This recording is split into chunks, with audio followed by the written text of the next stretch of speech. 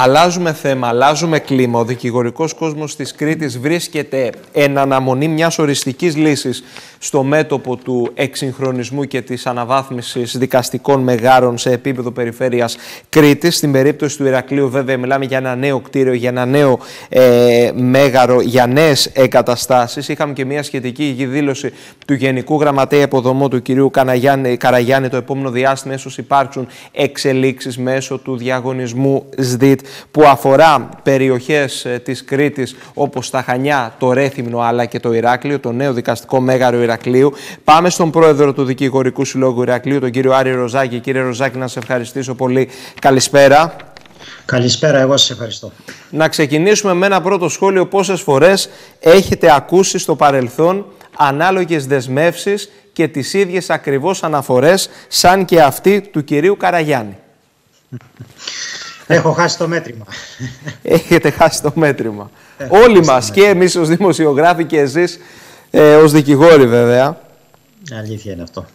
Κοιτάξτε, αν ε, φανταστώ ότι χρειάστηκαν περίπου 100 χρόνια για να αποκτήσει το Ηράκλειο το εφετείο, ε, ε, τουλάχιστον οφείλω να, να ελπίσω ότι δεν θα χρειαστεί ο ίδιος χρόνος για να αποκτήσουμε δικαστικό μέγαρο. Εν τω μεταξύ, στην περίπτωση του Ηρακλείου υπάρχει χώρος, έχει δεσμευτεί σχετικό οικόπεδο. Βλέπουμε και το χαρακτηριστικό πλάνο. Ωστόσο, οι διαδικασίες έχουν κολλήσει. Ναι. Ε, η απαλωτρίωση του συγκεκριμένου οικοπαίδου έχει γίνει, έχει συντελεστεί, έχει ολοκληρωθεί από το 2007. Ε, έκτοτε αναμένουμε την ανέγερση του νέου δικαστικού μεγάρου Ηρακλείου. Έχουμε ακούσει έχει περάσει από 40 κύματα αυτή η διαδικασία. Ε, καταρχάς ε, σε σχέση με τις διαδικασίες που επιλέγει η εκάστοτε πολιτική ηγεσία του Υπουργείου. Έχει αλλάξει δηλαδή αυτός ο σχεδιασμός πάρα πολλές φορές. Ε, εδώ και περίπου τρία χρόνια ε, το έχει ξεκινήσει ήδη από την προηγούμενη πολιτική ηγεσία του Υπουργείου Δικαιοσύνης. Ο σχεδιασμός είναι η διαδικασία ανέγερσης μέσω, ε, μέσω σύμπραξης δημοσίου ιδιωτικού τομέα, τα γνωστά ΣΔΙΤ. Ε, και αναμέναμε με την ανάληψη της ηγεσίας του Υπουργείου από τον κύριο Τσιάρα, τον ίνι Υπουργό Δικαιοσύνης, ε, αναμέναμε τον διαγωνισμό. Ε, αυτό τώρα έχει, έχει περάσει ήδη ένα διάστημα περίπου δύο ετών ε, και διαγωνισμό δεν βλέπουμε, ε, όλο ακούμε υποσχέσεις. τώρα η πληροφόρησή μου και εμένα είναι ότι ε, έχει κινηθεί ο σχετικός διαγωνισμός για την πρόσληψη ενός ειδικού συμβούλου, όπως απαιτείται για τη συγκεκριμένη διαδικασία, ε, προκειμένου να προχωρήσει και να βγει στον αέρα επιτέλους ο διαγωνισμός. Να πούμε ότι στην περίπτωση του Ρεθύμνου και των Χανίων ε, αναφερόμαστε σε αναβάθμιση και εξυγχρονισμό. Στην περίπτωση του Ηρακλείου μιλάμε για ένα νέο κτίριο, για μια από την αρχή νέα εγκατάσταση. Ωστόσο και οι τρεις αυτές περιπτώσεις, κύριε Ροζάκη, διορθώστε με αν κάνω λάθος, είναι στον ίδιο φάκελο, σωστά; Σωστά. Αυτό είναι μια αλλαγή που έγινε ναι. πριν από 5-6 μήνες περίπου, διότι αρχικώς ο σχεδιασμός προέβλεπε την ανέγερση των δικαστικών μεγάρων του Ηρακλείου και της Εδέσης. Σωστά. Ε, μαζί. Ε, άλλαξε αυτός ο σχεδιασμός και πλέον ε, έχει αλλάξει η διαδικασία και πάμε σε ανέγερση νέου δικαστικού μεγάρου Ηρακλείου και ανακατασκευή, ανακαίνιση των υπαρχόντων ε, δικαστικών μεγάρων Χανίων και Ρεθύμνου. Απλώς αυτό που θέλω να, να επισημάνω είναι ότι δεν είναι ίδιες περιπτώσεις υπό την έννοια ότι ειδικά το Ρέθυμνο έχει ένα κτίριο το οποίο είναι σχετικά καινούριο ε, προφανώς απαιτεί συντήρηση και ανακαίνιση το Ηράκλειο όμως, όλοι φαντάζομαι οι Ηρακλειώτες γνωρίζουν Σωστά, ότι. Και εκεί έχει... θέλω να πάμε. Τριτοκοσμικές ναι. συνθήκες. 2021 μπορεί να διανύουμε περίοδο πανδημίας, ωστόσο τα πράγματα είναι τραγικά.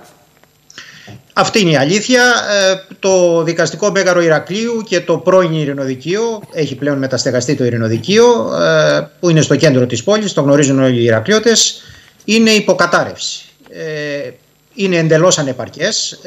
Ψάχνουμε εναγωνίως να βρούμε μία αίθουσα, ένα ακροατήριο προκειμένου να δικάσουμε σημειωτέων ότι λόγω της πανδημίας αυτή τη στιγμή δεν γίνονται πολλά δικαστήρια και αυτό μας έχει σώσει να το πω εντός εισαγωγικών.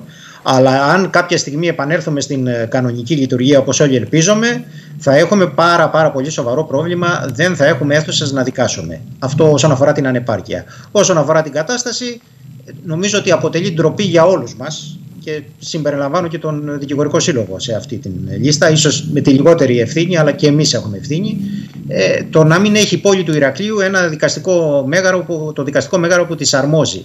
Υποτίθεται ειδικά τα κτίρια αυτά τα οποία μέχρι τώρα στεγάζουν το δικαστικό μέγαρο ότι έχουν και κάποια ιστορική αξία, έχουν ιστορική αξία, όχι υποτίθεται, ε, και παρόλα αυτά έχουν αφαιθεί στην τύχη τους ε, και καταραίουν μέρα με τη μέρα. Ε, επισημένω, δώστε μου την, ε, την άδεια, να, να επισημάνω, να κρούσω για μία ακόμη φορά τον, τον κόδωνα του κινδύνου όσον αφορά ειδικά το, το παλαιό ειρηνοδικείο. Το κτίριο κάποια στιγμή θα καταρρεύσει και πολύ φοβάμαι ότι θα έχουμε και δυσάρεστες συνέπειες. Ας ελπίσουμε ότι δεν θα φτάσουμε εκεί.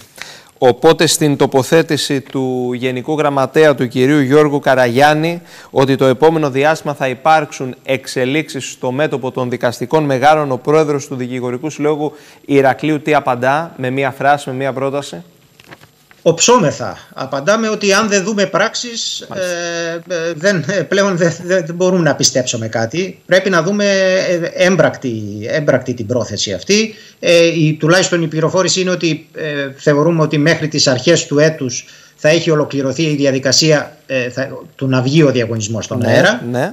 Ε, υπάρχει ένας σχεδιασμός να έχει ολοκληρωθεί και το έργο μέχρι το 2024 Προσωπικά πιστεύω ότι αυτό δεν πρόκειται να ισχύσει, αλλά εν πάση περιπτώσει ας γίνει μια αρχή επιτέλους. Μάλιστα. Κύριε Ροζάκη, να σας ευχαριστήσω πολύ.